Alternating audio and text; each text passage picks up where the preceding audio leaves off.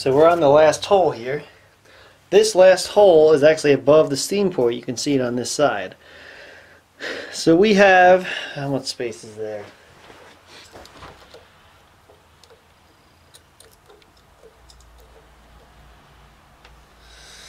We got about 800 thousandths until we hit that. So what I'm going to do, so I'm going to go, let's see here. We're going to go like 7 sixteenths down. And then we're going to use a bottoming tap to get to the hole. So let's go.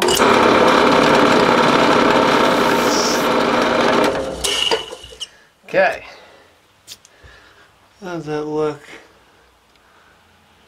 So now we're going to use a bottoming tap because that's a pretty shallow hole.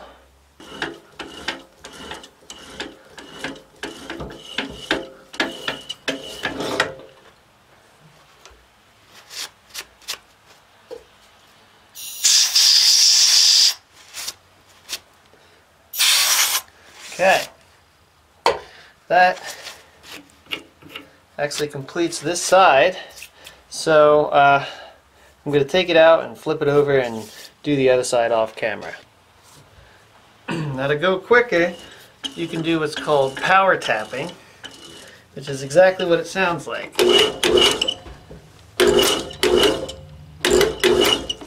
You gotta be careful because that is an easy way to break a tap. So I usually will just power tap most of the hole and then uh, get to the bottom by hand. And then um, my machine can't run in reverse, so I have to back it out by hand. But it makes the process much easier, and it's a lot more, it's a lot safer if you don't have um, blind holes.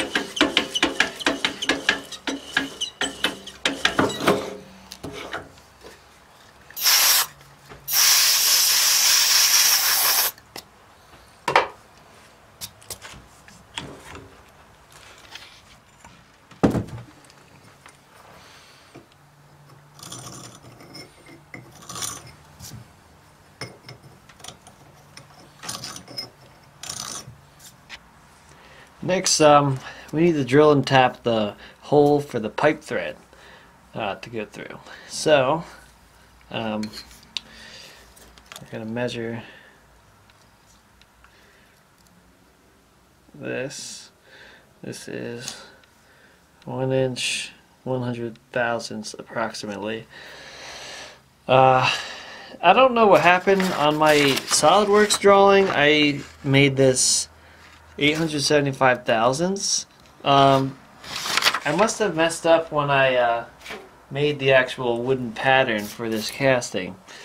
Because this is clearly over an inch this distance from top to bottom. Um, in fact it's it's along the lines of one inch 100,000 so I really don't know what happened. But uh, nevertheless, we're going to take this value that we get here, and we're going to divide by 2. So, 1 inch, 75 thousandths. That goes to 538 thousandths. That's our uh, halfway point. So,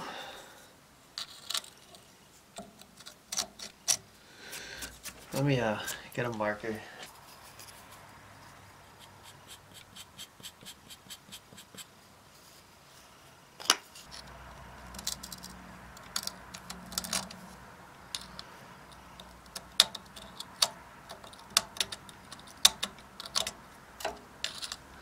Well, it's kind of hard to see because of the scale on the cast iron. It's really hard.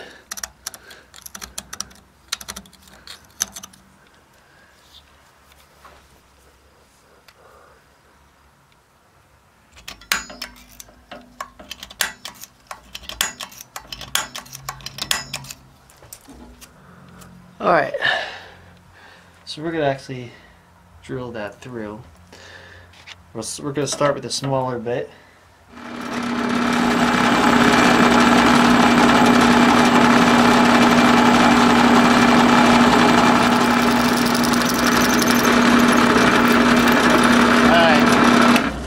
We're through.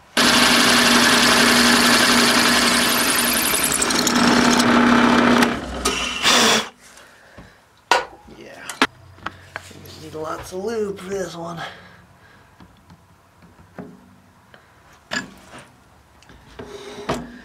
No power tap here.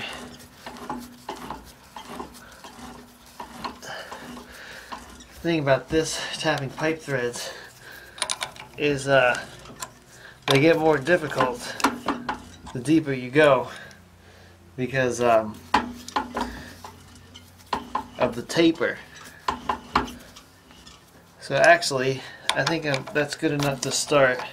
I think I'm going to do it by hand because it's just going to require too much force to do it in the chuck. I can't find my tap wrench that fits these guys, so I'm going to have to do this, and I'm going to be really careful here.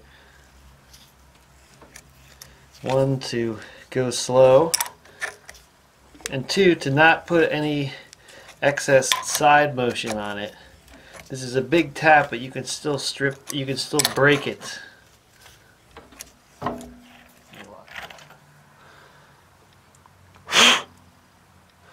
think that should be enough. So you can kind of see how this works. Steam goes in here, goes through this bend out here, and then uh, the valve gear will bolt to here and it will control how the steam goes through this port or this port with a valve that moves up and down and then those ports send steam into the cylinder. So uh, I am going to lap the top and the bottom cylinder heads in the same way I lapped this. I'm not going to show you it's the exact same process but I, I think I will do a before and after shot so I'll see you in a second so here's a before shot. You can see the machining marks, especially between this region and this region. So let's lap it. Just finished lapping it. You can see the surface finish is way better. Nice one consistent texture. It's nice and shiny. I went up to 400 grit again. So, I just need to do the other side. So, if we look at the unlapped side, this is what we're starting with. You can see the machining marks. Alright, just finished lapping this one. Uh, you know, it's really unfair that you guys just get to go to the next scene and see it all done. I mean, all this lapping took like several hours. And I'm glad it's done. We have one op left, just to drill and tap two holes here. On my drawing, I have the hole 1.25 inches down from the top machine surface. So we're, let's just get a hint of where it is. About there, so we're just gonna mark that in. And then being careful not to scratch my lapped surface.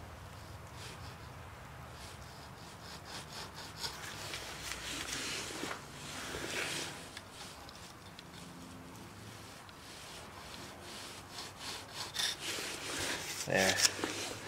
Yep, we're good. So then, uh, how wide is this? We want this to be in the middle and then I'll check it with the drawing. So this is uh,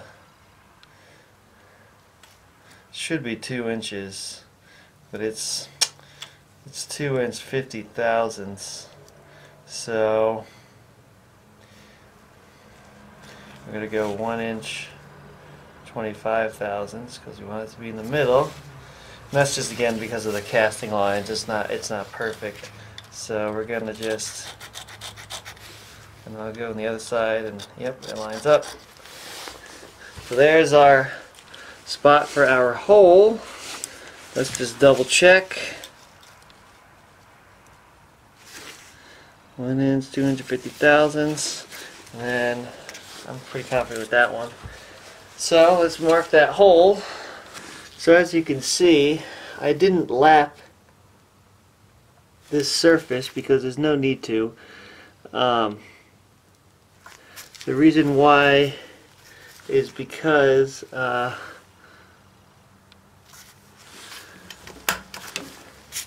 the reason why is because uh,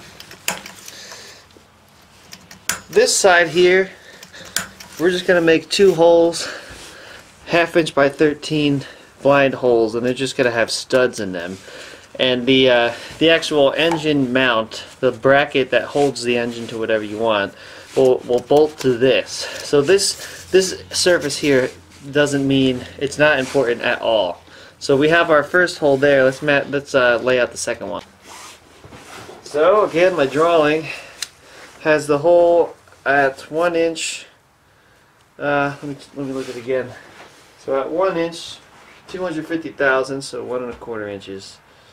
Again let's let's get a marker marker here see where approximately it's gonna be okay right there so this is damn this is the I'm so mad that this is this part is like the only part of this part for lack of a better word that is not like perfect but it's I'm, I'm lucky that it turned out on the side that didn't matter so we're just I'm just gonna scribe I'm gonna scribe a little. Well, let me wait for this to dry. So actually, what I just did, okay, misread my drawing. Clearly, that's not the right spot. uh, it's gonna actually be, that was just the distance to the middle. I actually have to go another 1 inch 250,000. So I'm just gonna set this to 2 inch 500 thousandths, or 2.5 inches. And that's where I'm gonna go from my other one. I could also just as well uh, go one inch 250 thousandths from this machine surface as well. So let's mark that in.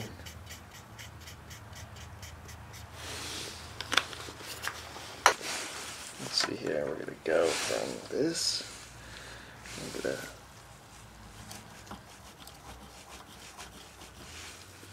Scribe a line. So we're going to go halfway now between these two.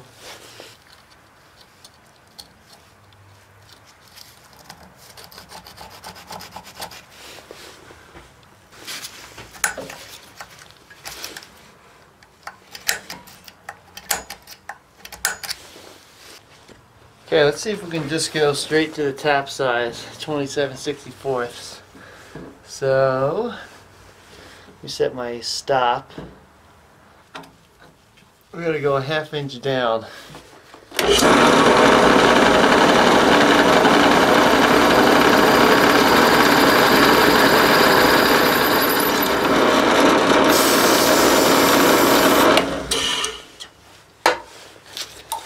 Alright, now let's uh,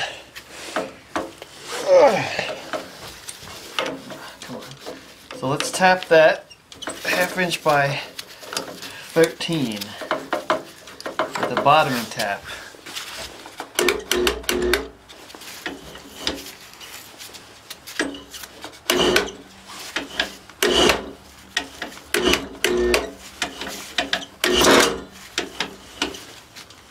There's the bottom.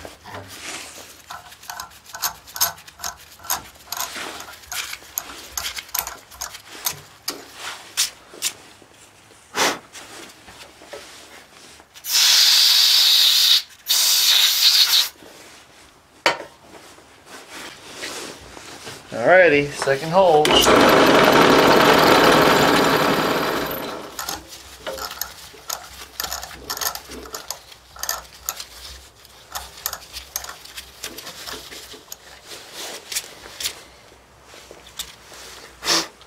Alright guys, that'll be it for this video series. this part is done. Uh, that's pretty exciting. It took a long time. Um, I think this is going to be one of the more complicated parts, hopefully. It's hard to tell right now. Um, but uh, the next part we're going to do is a much simpler part. It's going to be the uh, engine support that's going to actually bolt onto this side right here. Uh, and, that's kind of why this little casting blemish here doesn't really matter. It's because it's going to be covered. So this is what it's going to look like. Um, it's just a little mount. And I've actually started making the pattern already. Here is the pattern so far. I still need to add the fillets in so we don't have the, these harsh corners right here. Uh, but, you know, the, the way it's going to go is, let's uh, put this more in center frame. It's going to bolt on to here like that. And then uh, it's just going to provide a way to hold this up, you know, just like that. So that's all. That's what we're doing next. Um, so I'll see you guys in the next video series, which will probably be this guy, and uh, we'll start with casting him. Thanks a lot. See you later.